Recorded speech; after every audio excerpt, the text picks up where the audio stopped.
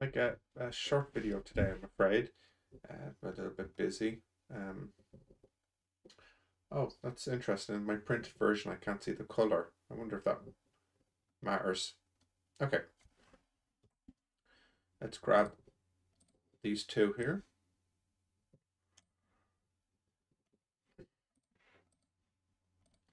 Okay. And uh, let's have a look here. So basically when you want to find the inverse graph, kind of like um kind of like um it gets spun around the 45 degree line. I'll show you what I mean in a moment. Because it's a straight line, I just have to take two points and consider how they appear in the inverse function. So for example, the point here, 0, 1, will become the point, just mark it here, at this point here will become this point in the inverse graph. 0, 1 becomes 1, 0, for example. And um, minus 2, 0 becomes 0, minus 2. And because it's a straight line, I just need I just need two points. Do my best to get that there. And uh, you can see what I was trying to say earlier, that it looks like the graph gets flipped through the 45 degree line, like spun around it. If you can imagine it, a rotation around this line, the blue becoming the black. Anyways, that's an odd question, so uh, the answer will be here, and uh, that's right. Okay, so that's for um, F inverse. And uh, let's see now um, the next one here. It's a little bit trickier. Um, minus 2, 4 becomes 4 minus 2. Um, minus 1, 2 becomes 2 minus 1. Um, for example, 0, 1 becomes 1, 0. Um, let's say 4, 0 becomes 0, 4. I think that's that's enough. So you can see that this one here will be going like that. That will be F inverse there. And again, you can see the point I'm making. If I draw a 45 degree line here, you can you can see that flip. Okay, that's 195 and 196. Um, let's have a look now. Uh, 197 and 8.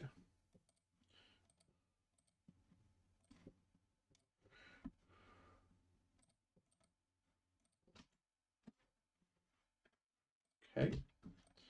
197. Then let's get a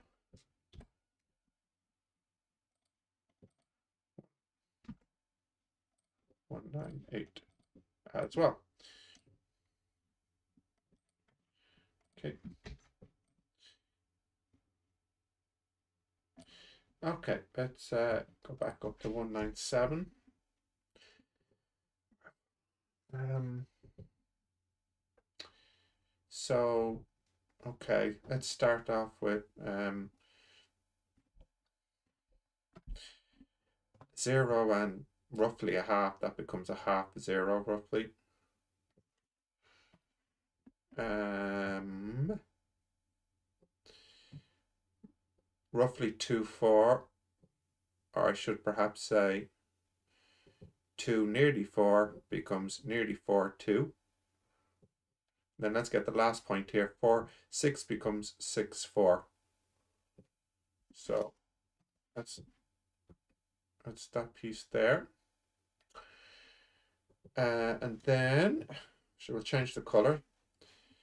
4, 6 becomes 6, 4.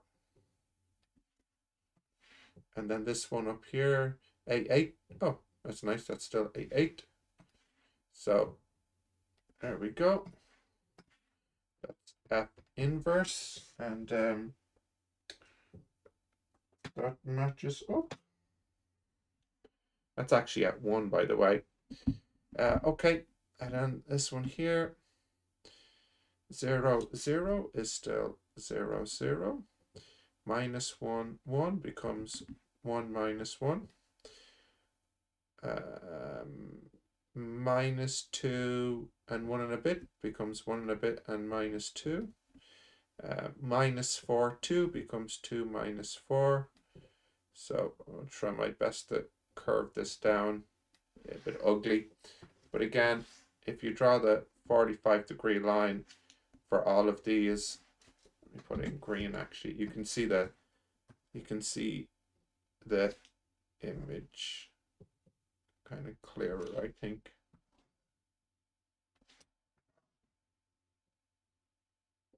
Yeah, so they're the um, yeah, they're the inverse graphs. Um, and I like having the 45 degree line on it because the way to visually check. Um, yeah, okay. All right. Um, um, um, um oops.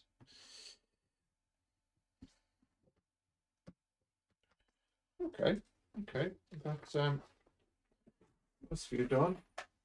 Um, oh, maybe I'll just do a couple of the the next view.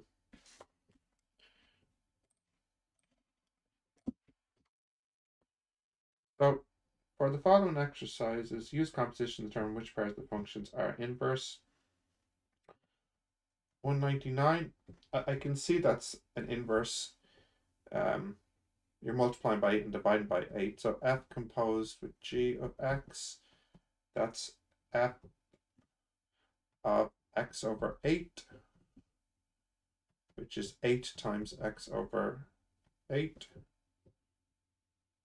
which is x. And you technically have to check the other direction too. So that's g of 8x which is 8x over 8, which equals x. So it's an inverse since fg equals gf equals the identity function. Uh, that is a function that doesn't do anything but simply returns the x as given to it. Um, okay I think the answer is going to agree. These are inverses. And then 201 times 8 plus 3. Yeah, that looks like an inverse as well. 200. f composed with g of x, that's equal to f of x minus 3 over 8 which equals 8 times x minus 3 over 8 um, plus 3. They cancel and they cancel. And that's an x. g of f of x. That's g of 8x plus 3, which equals um, 8x plus 3 minus 3 over 8. They cancel and then they cancel, leaving with x. So Again, therefore, uh, in inverse. Okay, okay. One more, then we'll call it a day.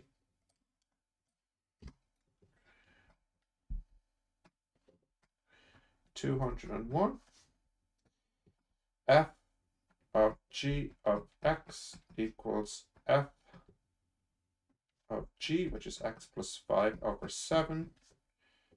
And then that's 5 times x plus 5 over 7 um, minus 7. 5 times x plus 5 over 7 minus 7. So that will be 5x plus 25 over 7 minus 49 over 7. So that's 5x minus 24 over 7, I hope. So, anyways, point being not x, so therefore not an inverse. No need to check the other direction, GF. We're done here. Okay, okay, we'll leave it for there. We'll leave it there for today. Any mistakes, please let me know. And uh, thanks for watching.